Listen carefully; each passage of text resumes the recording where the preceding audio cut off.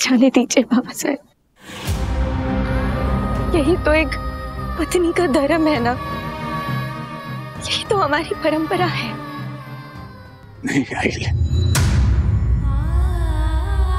तुम्हारा धर्म केवल इस जोड़े तक सीमित नहीं है। तुम्हारे इस जोड़े का महत्व तो जनता की भलाई से बड़ा नहीं हो सकता।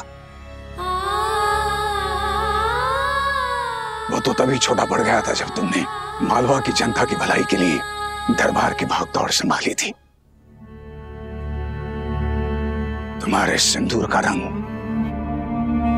उन लोगों की उम्मीदों से गाढ़ा नहीं हो सकता। जो दिन रात ये सपने सजाए बैठे हैं कि तुम उनके लिए कुछ करोगी, आस लगाए बैठे हैं। तुम्हारे ये मंगलसूत्र के मन के मालवा की प्रजा, उनकी उम्मीदें, उनके पुकार से कई गुना कम है। इन्हें तुम अनदेखा नहीं कर सकती बेटा। हम कह रहे हैं ना तुम्हें, और रही बात धर्मशास्त्र की तो धर्म से भी हम भलीभांति परिचित है, और शास्त्र से भी। क्योंकि कोई भी धर्म जनता की भलाई से बड़ा नहीं होता, और कोई भी शास्त्र क्षत्रियो को धर्म से मुँह फेरना नहीं सिखाता। बेशक तुम हमारे बेटे की पत्नी हो, लेकिन सही मायने में तुम इस प्रजा की आई हो, अहिल्या। तुम केवल मालिरा और मुक्ता की आई नहीं हो, बल्कि इस राज्य की, इस प्रजा की, छोटा, बड़ा, सबकी आई हो। और मत भूलो कि राजा और रानी जनता के माता पिता के समान होते हैं। और जब एक पिता दुर्भाग्यवश उसका देहांत हो जाए तो आई अपने बच्चों की परवरिश करती है। उनका पालन पोषण करती है। और आज इस वक्त यही तुम्हारा फ़र्ज़ है। तुम्हारा धर्म है।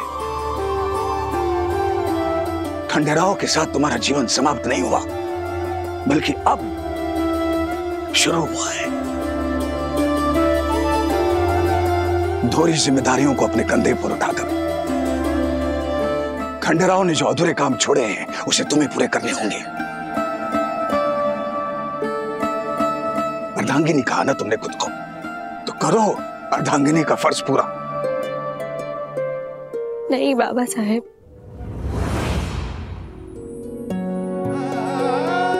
मुझे माफ़ कर दीजिए। ये ज़िम्मेदारी आपके सक्षम कंधों पर है। और मुझे पूरा यकीन है, आप इसे भली बात ही निभा लेंगे। बाबा साहेब, आपको किसी की ज़रूरत नहीं है। ज़रूरत है, अहिल्या। ज़रूरत है, अहिल्या। अपने बेटे की अकाल मृत्यु। बड़े से बड़े सुरमाओं के धैर्य को खत्म कर देती है। और हमारा केवल धैर्य ही नहीं, हम भी खत्म हो गए। खंडराव की मात ने हमारी बाजुओं की ताकत को हमारे मन के धीरज को तोड़ दिया है। और आज जब हमारा बेटा होने का फ़र्ज़ निभाने का वक्त आया है। तो उसे छोड़कर तुम सती होने की बात कर रही हो, अहिल्या।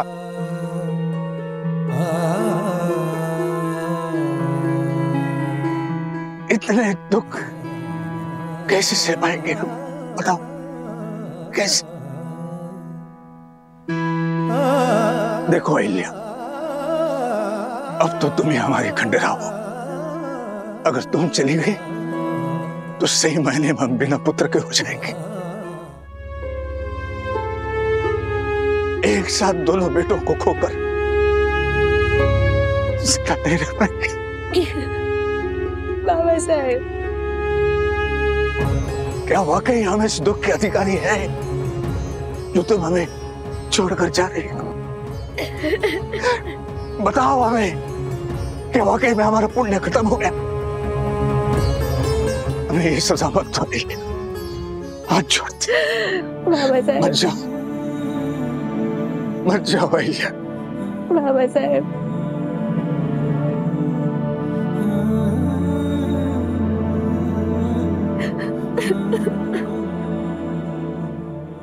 क्या? मल्हारा अहिल्या को सती होने से रोक रहे हैं? नहीं ये सही नहीं है। ये धर्म के विरुद्ध है। हमने अहिल्या के कार्य और उसके कामकाज के तरीके के बारे में सुना है, जाना भी है और देखा भी है। हम सराहना करते हैं उसकी। परंतु दुर्भाग्यवश, वो अपना सौभाग्य खो बैठी है। उसका सती होना ही धर्म सम्मत है। परंपरा और रीति रिवाज भी तो कोई चीज़ होती है। हम सभी को एहसास है कि मल्हार राव जी इस वक्त दुख से घिरे हुए हैं। इस वक्त उनके द्वारा लिया गया कोई भी फैसला, चाहे वो सही हो या गलत, वो भावनाओं से भरा होगा। और ऐसे भावनाओं के आवेश में आकर उनका कुछ करना यानी हम सब लोग अहिल्या को करीब से देखते आए हैं। उसका सम्मान करते हैं। उसे जानते हैं।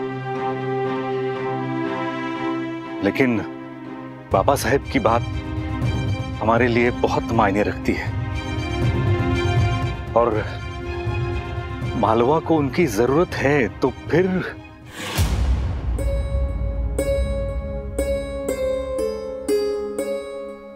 हम अहिल्या का सती ना जाना मंजूर कर भी ले। परंतु समाज और धर्मपीठ इस पर ज़रूर उंगली उठाएगा। लोग तरह तरह की बातें करेंगे। उन्हें क्या जवाब दिया जाएगा? पेशवा सरकार हमें लगता है इस विषय में आप मल्हार राव जी से बात करें तो उचित रहेगा।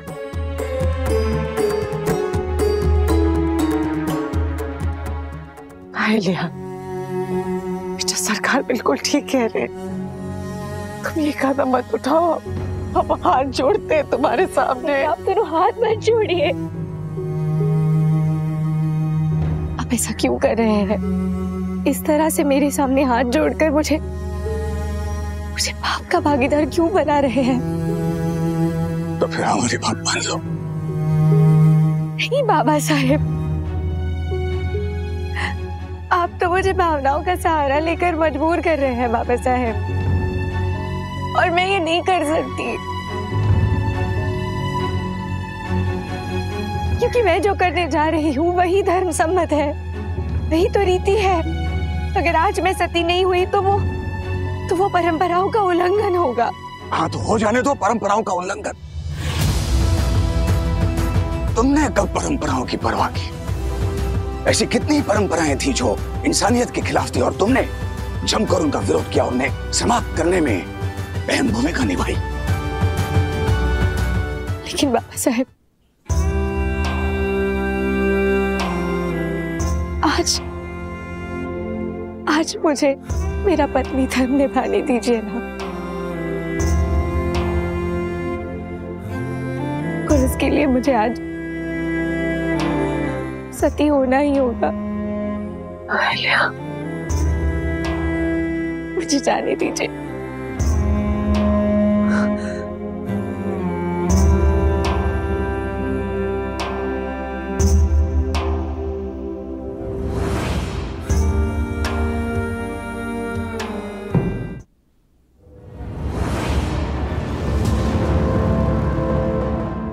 केवल पत्नी धर्म निभाना था। तो ये तलवार क्यों उठाई हाथ में? क्यों क्षत्रिय धर्म स्वीकार किया था? क्यों मालवा की गति पर बैठकर न्याय किया था? क्यों प्रजापालक बनकर जनता के मन में विकास और न्याय की दुहाई मांग रही थी? बताओ, उनकी उम्मीद जगाई थी तुमने? क्यों हर सीमा को लांग कर जनता की मदद करने के लिए अपनी जान तक कुर्बान करने चली थी। क्यों ना इंसाफी और जुर्म को देखकर तुम्हारा खून खोलने लगता था, बताओ। नहीं अहिल्या तुम केवल एक पत्नी नहीं हो, तुम्हारी बेटी भी हो। मालवा की रानी हो, प्रजा की मौरी हो तुम। तुम केवल अपने समाधान के लिए, अपने सहूलत के लिए सती नहीं हो सकती। इतनी स्वार्थी नहीं बन सकती तुम। और यह प्रथा, कब तक रहेगी ये प्रथा? निरर्थक है ये। कलंक है ये प्रथा के नाम पर। तुम समझते नहीं हो, अहिल्या। समाज ने प्रथा तो बना दी, लेकिन एक बेटे के साथ। एक बेटी जैसी बहू भी खोता है ये समाज। ये एक सामाजिक मुद्दा है। एक समस्या है। ये केवल हमारी, तुम्हारी नहीं, पूरे भारतवर्ष की समस्या है। और तुम इस सती प्रथा का समर्थन कैसे कर सकते तुमने तो हर बार खुलकर ऐसी प्रथाओं का विरोध किया है। फिर वो विधवा विवाह जैसी समस्या हो बाल विवाह जैसी समस्या हो, या बाल विधवा या उनके रहन सहन से संबंधित समस्या हो, या लड़कियों की शिक्षा से संबंधित समस्या हो अपने अब तक की ज़िंदगी में तुम ऐसे अन्याय करने वाली प्रथाओं के खिलाफ लड़ती रही हो। फिर आज क्या हुआ? क्या तुम ये कहना चाहती हो कि एक औरत की अपनी ज़िंदगी, उसका अपना अस्तित्व कोई मायने नहीं रखता? मतलब कि जिस वक्त एक औरत का पति दुनिया छोड़कर चला गया तो बस उस औरत की ज़िंदगी खत्म हो गई। नहीं, हम नहीं मानते इस बात को। और अगर तुम्हारा ऐसा मानना है तो तब उन परंपराओं, उन प्रथाओं के खिलाफ आवाज़ क्यों उठाई तुमने? और आज सती होकर तुम आने वाली पीढ़ियों के लिए कैसी मिसाल कायम करना चाह रही हो?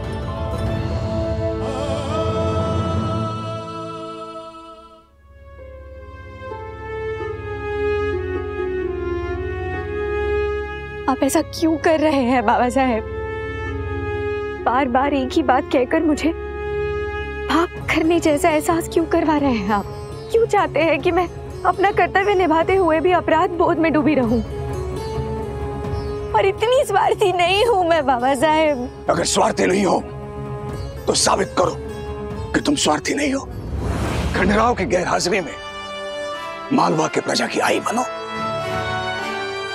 जानते नहीं है तो इस प्रजा के लिए तो मालवा राज्य को स्थापित करने के लिए उसे अपने पैरों पर खड़ा करने के लिए। तुम्हारा भी उतना ही योगदान रहा है, जितना हमारा और खंडेराव कर रहा है। अपने हाथों से अपनी बसी बसाई दुनिया को उजाड़ कर जाना चाहती हो। ये ठीक नहीं है अहिल्या ये ठीक नहीं है। अभी तुम्हें बहुत सारी जिम्मेदारियाँ बहुत सारी भूमिकाएँ निभानी है इलिया मालवा के बाड़े पे जो झंडा लहरा रहा है, उसकी आन बान और शान की रक्षा करनी है। उसे बरकरार रखना है। तुम ऐसे नहीं कर सकती अहिल्या नहीं कर सकती। ऐसा क्यों कर रहे हैं आप दोनों? एक बात बताइए। आप दोनों मुझे सती होने से रोक रहे हैं। लेकिन पार्वती बाई साहब, उन्हें रोक पाएँगे सती होने से आप दोनों? उनका क्या बाबा साहब?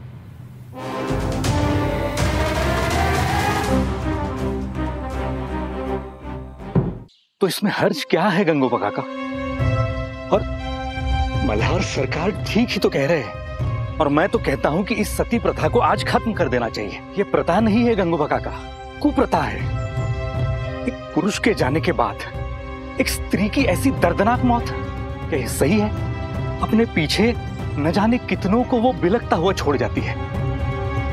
ये जीवन ईश्वर की देन है। तो उसे छीनने का हक भी केवल ईश्वर को ही है। आप सही कह रहे हैं तुको जी किसी मजबूर स्त्री को मौत के मुँह में झोंकने का हमें कोई अधिकार नहीं। मानवता की दृष्टि से आप बिल्कुल सही हैं, पर फिर परंपरागत जो होता आ रहा है, उसका क्या? तुको जी, खंडेराव के साथ इस युद्ध में और भी कई योद्धा शहीद हुए। उनकी पत्नियाँ तो सती हो गई। क्योंकि ये धर्म था, शास्त्र अनुसार था, शास्त्रोक्त था। तब तो किसी ने नहीं रोका। जब बात राजघराने की आई तो सती प्रथा खराब है, उसे बदलना चाहिए। क्यों, ऐसा क्यों? क्या ये सही है? आप सही कह रहे हो, गंगूबा काका। लेकिन अहिल्या रानी है। बाबा साहेब तो कहते हैं कि वो प्रजा की आई है। ठीक कह रहे हैं तुको जी आप। मैं आपकी बात से सहमत हूँ। अहिल्या को सती नहीं होना चाहिए।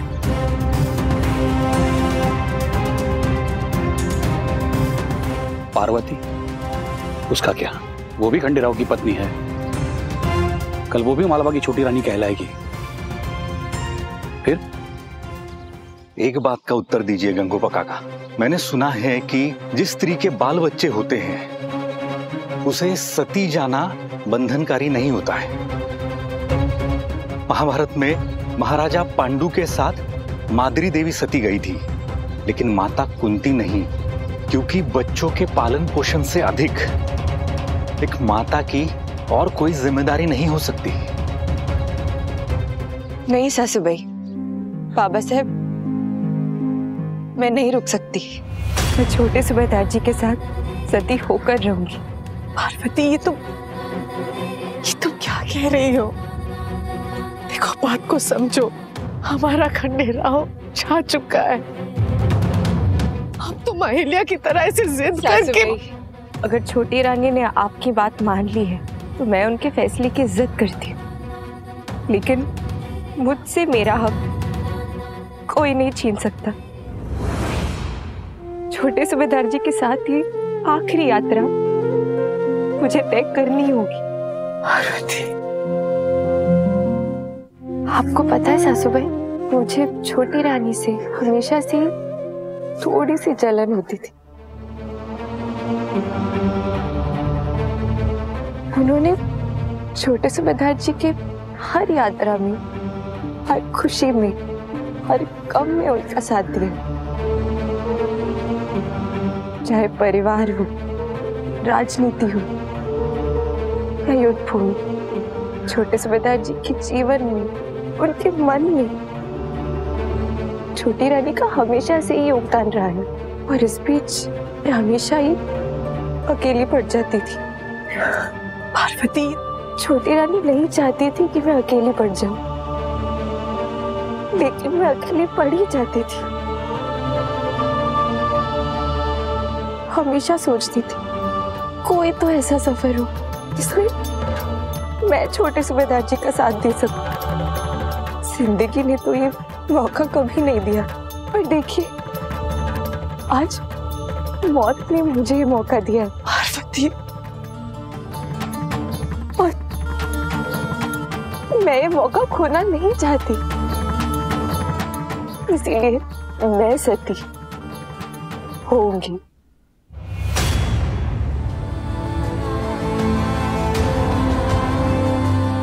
आप सबसे एक विनती है कि मुझे कोई ना रोके।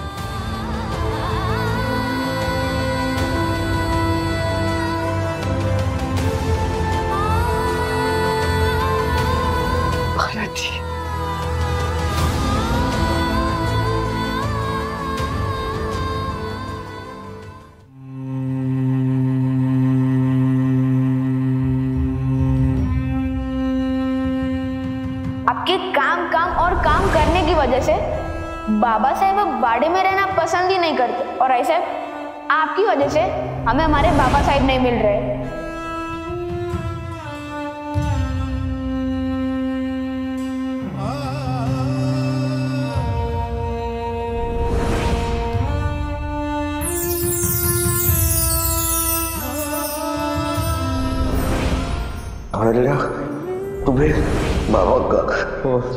बाबा का ख्याल रखना और हम जहाँ भी होंगे ना तुम्हारे साथ होंगे। छोटे सूबेदार जी मेरे सब कुछ थे। अगर वो ही चले गए हैं तो मैं किसके लिए जीऊं बाबा साहेब? छोटी रानी। आइए पार्वती बाई साहब। आना क्या है छोटी रानी अब तो जाने का वक्त आ गया है बस जाने से पहले आपसे कुछ मांगने आई हूँ